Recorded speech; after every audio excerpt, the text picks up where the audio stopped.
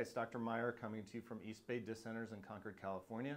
I want to answer the question that we get a lot, which is what is a bulging disc? So first of all, there are different names. Someone might say a slip disc, somebody might say a herniated disc.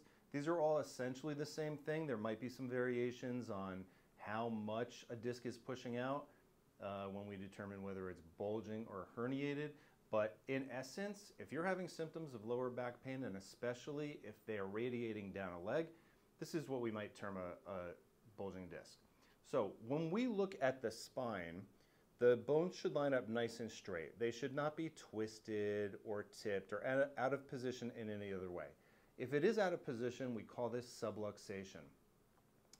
A subluxation over time degrades or damages the condition of the disc in between the bones. As that happens, these outer rings of the disc, which is called uh, the annulus, those are annular fibers, they are very strong ligament and you can see that they are nice and smooth. In the center is what we call the nucleus and this is made of a much softer material. We, we refer to it like a jelly-like substance.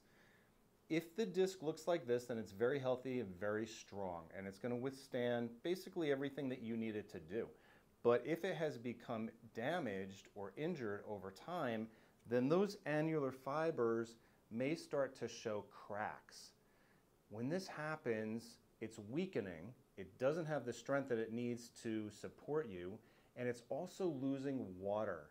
Every disc in our body has a very, very high content of water, and that is necessary to keep it healthy.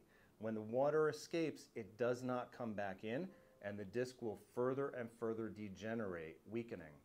You can also see what's happening with the nucleus here. Because the outer fibers, the annular fibers, are so weakened now, that nucleus is starting to push through. This is what's called, this is what's uh, causing what we term the disc bulge. So on this model, you can see this is a nice big fat disc, very healthy. If it is weakened and the disc is bulging, it might look something like this. And that bulge is now going to push against the nerve, causing any number of different types of symptoms uh, in the area controlled by that nerve. So we won't get into all of the variations on what you might experience from that, but when somebody says bulging disc or herniated disc, now you know what it is, now you know what it looks like. Hope that was helpful. Catch you on the next video.